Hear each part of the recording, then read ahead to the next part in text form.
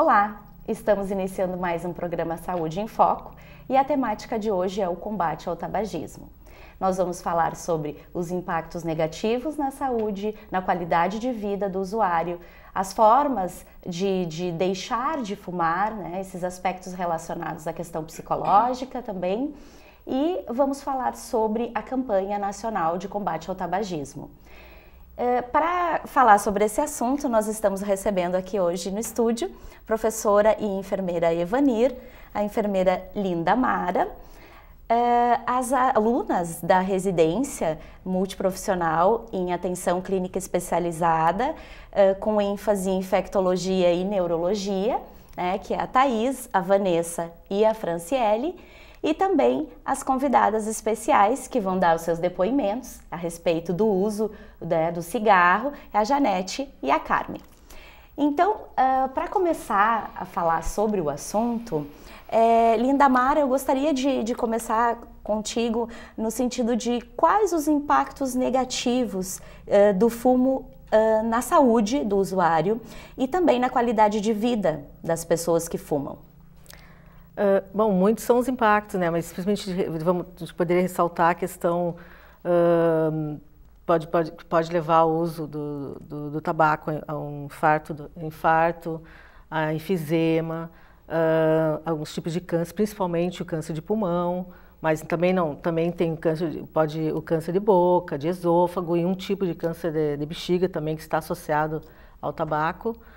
Uh, outros problemas respiratórios, agravamentos de doenças de DPOC, um, a qualidade de vida fica reduzida, né, em função, em função também da, da, da dificuldade, uh, da diminuição, né, da, da, da, da, melhor, da melhor, como é que vou dizer, da melhor, uh, para poder respirar melhor, para poder se movimentar melhor, né, isso aí é uma das coisas, depois eu tenho certeza que as gurias que que vão participar, que vão dar depoimento, vão. Acredito vão, que a disposição. Vão, a disposição. Né, para né? fazer exercícios, para fazer as atividades, atividades, da vida diária, exatamente. acabam ficando reduzidas. Reduzidas, né? né?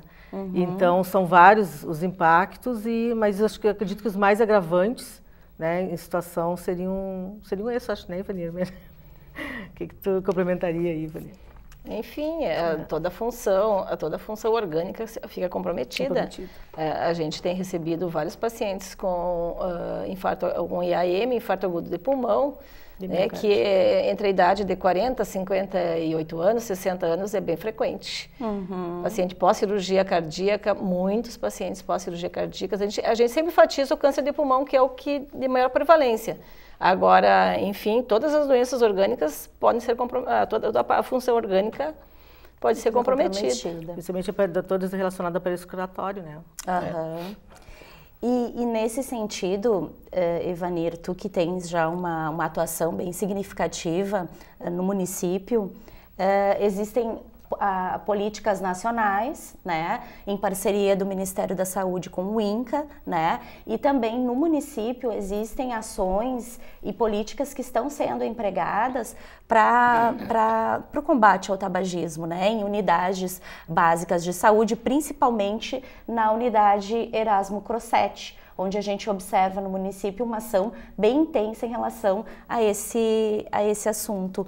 E como que são feitas essas ações, essas políticas? Pode explicar um pouquinho para nós? Olha, nós, nós temos, uh, na unidade Crossetti, nós temos uma sede já bastante antiga, apesar da gente ter uh, circulado por várias outras uh, outros locais da cidade, mas a gente hoje a gente prioriza porque é uma região é, é, é uma unidade central é de fácil acesso da população até porque as pessoas já têm um comprometimento e têm dificuldade de chegar até a unidade. Uhum. Mas hoje nós temos uma parceria bem, bem legal com a, o curso de odonto da universidade, nós temos com a, estamos iniciando com a, o setor de pneumologia do USME, Uh, nós temos um grupo hoje funcionando no CEL, no projeto Sorria Santa Maria, que já estamos já praticamente há dois meses. E, e, a gente está ampliando gradativamente. Uhum. É uma política que eu considero, eu não sei se a Linda Mara pode falar, e as, e as meninas da residência, ela tem, ela, é, ela, ela é assim de uma, a gente sente uma, uma, que as pessoas têm uma dificuldade muito grande de iniciar o trabalho com a política do tabagismo. Uhum. Até porque o tabagismo é uma doença é, crônica e que as pessoas têm uma resistência muito grande em parar de fumar, né? Então, por isso que existe essa dificuldade de, de poder implantar um grupo novo, de, de, organizar, de organizar, esses grupos, né? Esses pequenos grupos que vão impactar depois isso. num resultado maior a nível municipal, isso. né? É, esse grupo que vocês têm lá na Crossete, é, há quanto tempo que ele existe? Desde 2004. Desde nós 2004. fizemos o projeto, Santa Maria foi uma das cidades pioneiras. Uhum. Né? A gente uhum. serviu até como uh, apoio para vários, vários municípios da região. Uhum. Estamos até hoje. Vocês dão apoio aos municípios, Não, ajudando início, nas, nas organizações, nas isso, atividades, né, nas ações isso. do grupo. É, e, e, claro que todo, toda a capacitação é feita pela Secretaria Estadual de Saúde. Uhum. Mas a gente sabe sim que as pessoas elas, elas têm que estar seguras para começar um grupo. Sim. Né? Então, a gente frequentemente é solicitado para ah, que coisa boa. Para apoiar. Que coisa boa. Quer dizer que o trabalho já está dando certo, né? É um grupo já solidificado e que já está conseguindo fazer com que uh, as suas ações impactem em outros locais. Isso é fundamental. É, esse grupo, ele tem, ele tem um trabalho bem especial, né? E Thaís, você como aluna da residência aqui do Centro Universitário Franciscano e também fisioterapeuta, é, conta para nós um pouquinho como que são essas ações de vocês nesse grupo e, e até eu gostaria de falar para o pessoal aí de casa que a gente vai estar passando algumas fotos, né, da, do, das ações que vocês fazem, das atividades, enquanto a gente vê você contar a respeito. Olá. Uh, bom, o grupo uh, ele uh, é muito significativo aqui em Santa Maria. É, são dois, atualmente nós temos dois grupos em funcionamento na unidade. Os dois grupos principais, que seriam grupos iniciais, que são aquelas pessoas que recém tiver, tomaram aquela iniciativa de, de procurar uhum. um serviço e estão nos primeiros quatro encontros, em média, para tentar parar de fumar. Aí passando as fotos. Né? Então, é, são aqueles grupos iniciais para quem está começando uh, e ainda não conseguiu parar. Aí, a partir do momento que o usuário pa para, cessa com o tabagismo, ele vai para um outro grupo, que seria o grupo de manutenção. Porque o tabagismo, ele, o combate ao tabagismo, ele, é uma, uh, ele, é, ele requer uma vigilância constante. Então, é necessário que o usuário, mesmo depois de parar de fumar, ele consiga ainda se manter em um processo de vigilância, de, de cuidado, porque ele está muito de acompanhamento, né? porque ele está muito sujeito ainda a recaídas. Então isso é um trabalho que vai que se leva muito tempo e, e envolve dele uma vigilância constante. É, a gente observa ali nas fotos as ações de vocês, né, os grupos, os estudos, né? Vocês têm momentos de estudo entre os profissionais, de repensar as, as atividades, né? E momentos uh, de acolhimento no grupo todos os usuários uh, em conjunto participam de reuniões e Isso. também de e é um trabalho muito gratificante porque uh, quando eles chegam no serviço, eles assim, uh, muitas vezes ficam até muito até desespero, sabe? Ah, eu quero parar, eu preciso, uhum. porque eu não, uhum. eu não consigo mais, eu vivo dependente de bombinha e tudo mais. Uh, e daí eles entram no serviço, ali, em, em, um mês, mais ou menos, que eles param de fumar, eles já relatam uma diferença assim, muito grande com relação ao paladar, que antes eles não sentiam gosto, com relação ao cheiro, que eles não é uma coisa que eles reclamam demais assim, por ficar com cheiro na roupa, por por reduzir medicações, porque eles não ficam mais tão uh, agravados dos problemas respiratórios. Então, uh, uhum. eles assim eles relatam um benefício muito grande para eles. Uhum. E o importante é que o grupo ele é um grupo terapêutico. Então, eles não vão lá para pegar a medicação. A medicação é um suporte apenas. O principal é a conversa, o depoimento deles. Um ajuda o outro. A, a troca gente, de experiências. A troca de experiências. Né? O fortalecimento de uma vivência de um e uhum. outro que vai dando essa coragem para largar. Né? E que é na verdade o que faz a diferença para eles é o grupo. Tanto é que às vezes eles uh, já não vão mais lá para pegar adesivo, mas vão para conversar Olha, e participar do grupo, porque que, eles que uh, adoram o grupo. E é um trabalho muito gratificante mesmo, porque tu vê que uh, deveria ser uma das, das, políticas prioritárias, porque o que se morre no Brasil por causa do tabagismo é assim alarmante. Eu vi ontem falar que uh, aproximadamente 147 mil pessoas no Brasil morrem todos os anos em consequência do tabagismo e ele está relacionado, ele é fator de risco para inúmeras doenças, né? Às vezes a gente pensa em pulmão, mas não, é tudo, é todo, todo o organismo fica comprometido. Com certeza. E, e nesse, nesse grupo, vocês têm esse olhar multiprofissional, né? que é fundamental para que cada um faça a sua contribuição e a partir disso a gente tenha uma, um resultado mais positivo. É, você, Vanessa, você é fisioterapeuta, né? Está inserida num grupo de, de apoio ao combate ao tabagismo. Como que você faz esse seu olhar, as suas vivências, né? Que muitas vezes é um pouco distante do fisioterapeuta, mais próximo de outras áreas. Mas como que isso foi, fez com que você se identificasse, se motivasse a participar e, e se encontrar nesse grupo? Olá a todos. Bom, é bem como tu falou, né? A nossa participação, e como a Thaís tinha falado antes, está uh, sendo de muito aprendizado e bem significativa, porque, primeiramente, antes de fisioterapeuta, né, a gente passou na residência. Então, a residência multiprofissional, ela tem esse foco de ampliar o olhar né, para a saúde integral do, do usuário do Sistema Único de Saúde, né, desde a prevenção, a promoção da saúde até a assistência.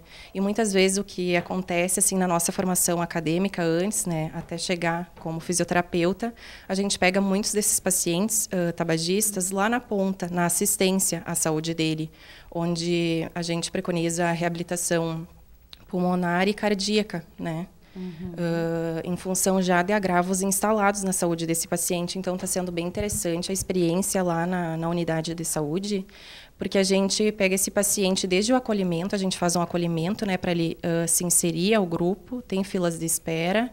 Então, a gente salienta isso e já tenta dar um primeiro contato e uma primeira, uh, um primeiro olhar assim de como ele vai aderir a esse tratamento e já o que ele pode fazer em casa, antes mesmo de começar no grupo, né, até ser chamado.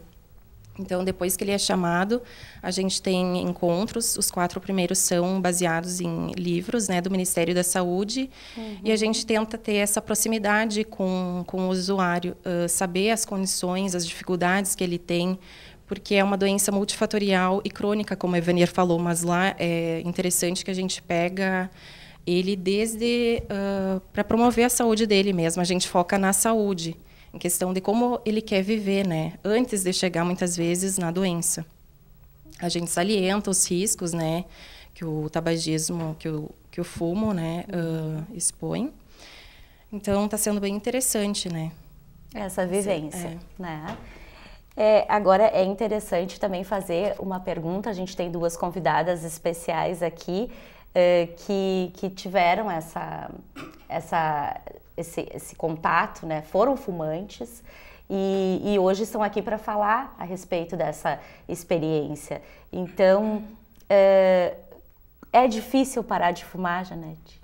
Difícil, assim, como é que eu vou te dizer? É difícil, mas uh, no momento que tu toma uma atitude, no momento que tu vê que tu precisa parar de fumar, a tua, como é que é, a tua força tem que ser maior que essa vontade que tu tem de fumar.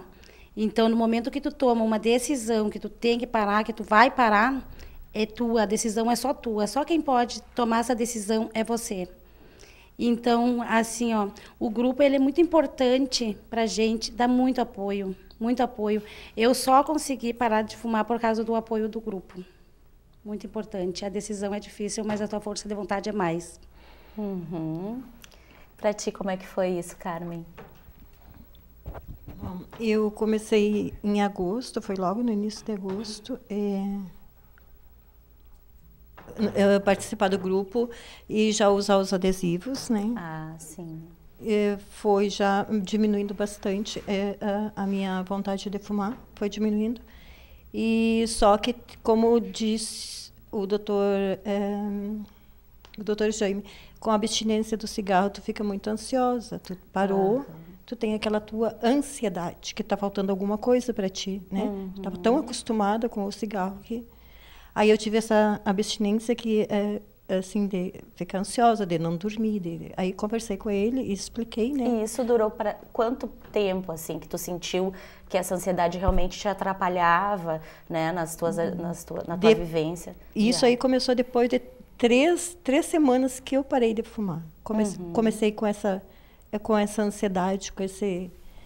Aí, como eu, eu relatei para ele, o doutor Jaime, daí ele disse abstinência do cigarro, né? Como tu já tá, teu, teu organismo já está sendo reti retirado toda essa nicotina, né?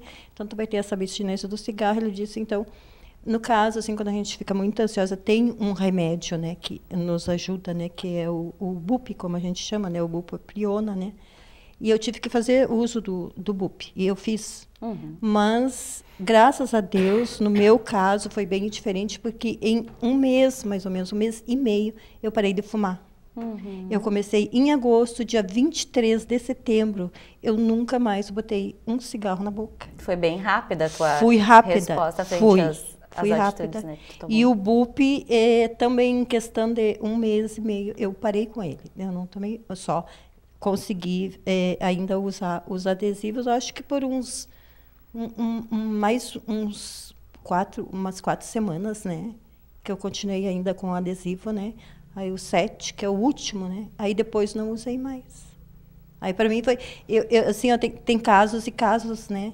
Eu, uhum. para mim, no meu caso, foi bem diferente. Graças a Deus, eu, eu, eu tive isso de, sabe, de, de, de poder eh, me libertar do cigarro e não ficar com aqueles sintomas que todo mundo sente vontade, se está na rua, sente o cheiro, tem a vontade, se está... Graças a Deus, eu digo, eu agradeço a Deus, porque eu, eu isso nenhum. daí eu não tive. Que isso te é, é ajudou a me não, ajudou muito. a não ter uma recaída, E graças a Deus voltar, ao né? grupo, como eu participei do grupo, a gente vê relatos de cada um, é, é diferente.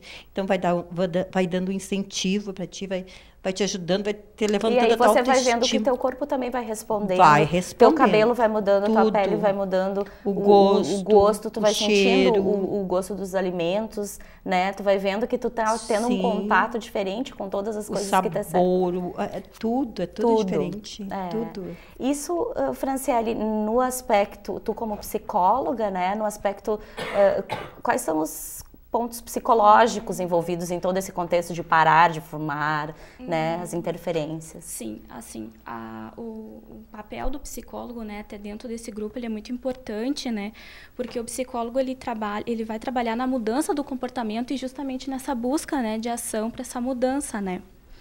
Uh, também vai trabalhar junto com o usuário na identificação dos aspectos que envolvem a dependência da nicotina, que é a dependência física, psicológica, emocional, uh, desculpe, física, psicológica e comportamental. Uhum.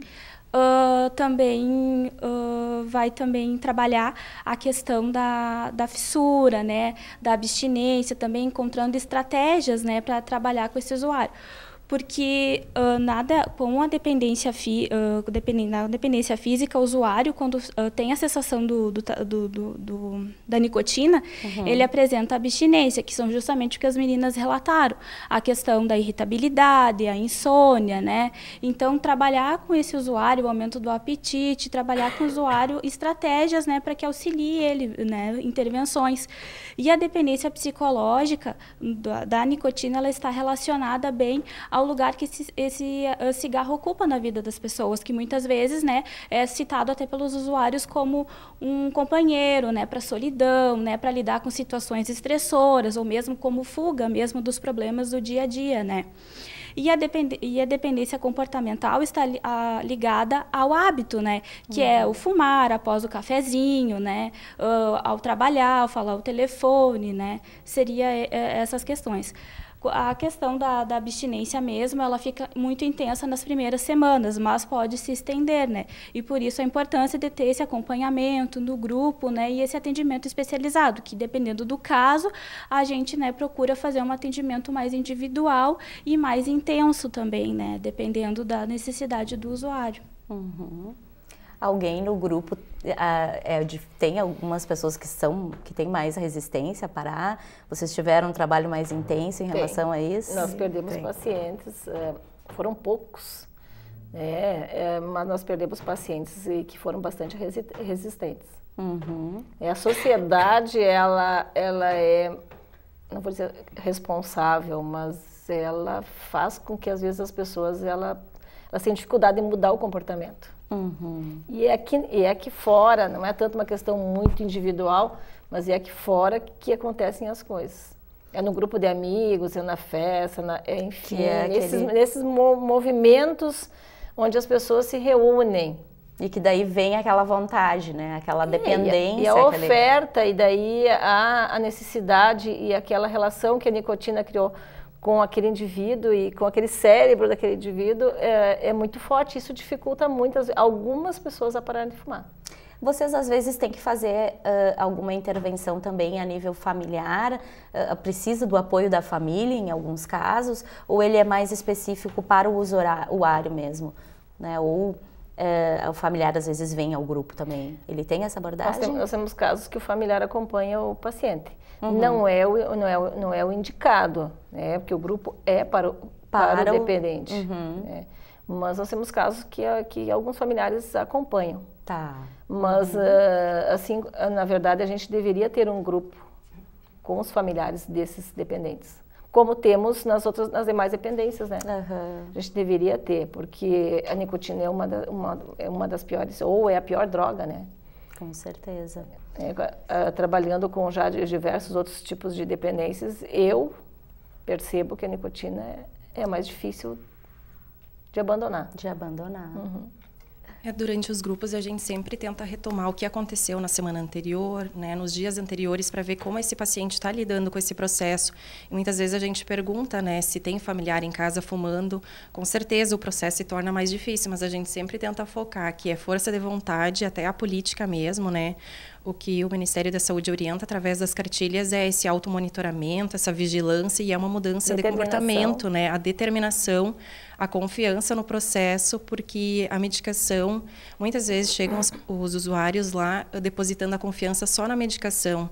Isso talvez não seja nem 20, 30% do processo. O processo uhum. envolve realmente assim a força de vontade, né? Tá aqui a Janete que falou. É. E a decisão tomada. A Carmen, isso e a decisão tomada, a gente pode ver claramente assim quem vai ter sucesso em parar de fumar no primeiro encontro lá, desde né, quando ele vai uh, se cadastrar para o grupo. Fazer avaliação clínica. É, e é esperado assim que uh, talvez metade dos usuários não, ad não aderem ao tratamento em relação ao parar de fumar. Sim. Uh, porque realmente assim é um processo difícil, envolve outras associações além da dependência física, né? A psicológica que a Franciele estava falando, a comportamental.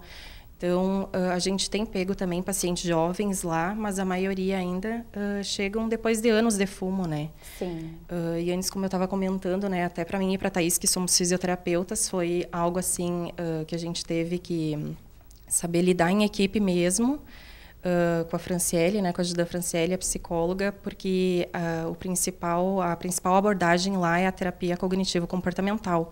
Realmente trabalhar com, com o usuário, nesse sentido de acolher ele, de ver as dificuldades do processo, e aí uh, utilizar estratégias de enfrentamento, né, aconselhar ele como ele pode fazer o que, que ele pode utilizar assim na vida diária, a questão da inserção de atividade física também. Uh, em alguns encontros a gente utiliza também exercícios de relaxamento e de alongamentos para melhorar de forma geral, né, a qualidade Sim, de vida todo, desse né? sujeito não. e tentar inserir assim a visão nele e também de criar um processo de corresponsabilizar esse usuário com uhum. com o processo, né, não só a gente dar orientações, mas ele seguir e participar ativamente desse processo. Com certeza. E a importância da equipe, da equipe, de uma equipe multiprofissional, multiprofissional. né? E uh, agora a gente uh, também, uh, dia 31 de maio, se tem a comemoração, é o dia né, do Mundial do Combate ao Fumo, e dia 29 de agosto é o Dia Nacional de Combate ao Fumo. Então, Uh, aqui em Santa Maria vocês devem estar programando alguma ação, né? Para esse dia em especial, para chamar a atenção da população. Então, o que, é. que, estamos programando? Dia 29, uh, nós programamos uma ação na Praça Saldanha Marinho, mas assim, é de, de, de poder conversar com as pessoas a respeito da prevenção. Uhum. No dia 29, a gente trabalha muito com a questão da prevenção, claro que abordando o tratamento para aquelas pessoas que tiverem interesse, uhum. uh, mas, traba mas, trabalhando basicamente a prevenção. É, muitas pessoas, assim, elas têm dificuldade de né, aceitar essa abordagem. Mas a gente também, assim, ó, a gente não força ninguém a nada, né? Eu acho uhum. que a uhum. pessoa, quando ela é dependente, ela tem que ter uma iniciativa, ela tem que ter é um interesse muito particular. E esse dia 29 é muito importante. É, ele foi instituído no dia 29 de, eh, dia 29 de agosto de 1986 e, e, com o objetivo de reforçar todas as iniciativas de prevenção. É, então, assim, hoje a gente tem tramitando já uh, na Câmara um projeto que proíbe uh, os aditivos do cigarro, ou seja, o sabor, o sabor de chocolate, o cigarro Menta, mentolado, é enfim, todos Uhum. aqueles que eu não conheço porque eu não sou fumante. Sim. Mas que o fumante conhece muito bem e, e- e no último grupo eles relataram o que, que eles gostavam de fumar. Nós temos também no Senado ah, ah, o aumento de idade para proibição de venda do cigarro, que, que hoje é 18 anos e, e vai ser votado aos 21 anos. Vai ser proibido a venda de cigarro para menores de 21 anos. Nos Já é uma Uni- bela iniciativa, né? nos Estados Unidos, alguns estados já, já tem, essa lei já foi aprovada. E a gente está torcendo que isso aconteça, embora a gente sabe que a gente também tem que trabalhar com a indústria, tem que trabalhar com o comércio, enfim, né? Tem muitas outras leg- legislações associadas. Ah, a gente precisa que, que ocorra fiscalização também a respeito disso. Mas nós vamos trabalhar essa questão assim no dia 29. Mas que bom. Né? então. Como é um dia nacional, a gente tem que estar focado no, que- no que o Brasil pode fazer para mudar esse comportamento. né? Sim. Nossa, que, que E é, será? E é importante salientar que o Brasil ele está na contramão do mundo. No Brasil, devido a essa política, já te- já está estabelecida há algum tempo, o número de fumantes no país vem caindo graças a essas iniciativas. E, e eu vi que, por exemplo, nos outros países ah, tem aumentado um pouco mais. Então, é bom valorizar que é uma política bem importante que a gente tem a nível nacional e que está tendo bons resultados. Inclusive, inclusive, a gente encontra que o Brasil, no mundo todo, já é um, já é um país de sucesso no combate ao tabagismo. E nós fizemos parte desse... É, eu ia Estamos dizer, na vocês luta. estão de luta. parabéns. Estamos na É, Boa sorte agora dia 29, que vocês continuem né, com o grupo com muito sucesso. É, agradeço a presença de todas hoje aqui. Agradeço também a presença de você aí de casa. Estamos chegando ao final de mais um programa Saúde em Foco. Se você quiser rever o programa, você pode acessar no canal Unifra, no Unifra Online. Tchau!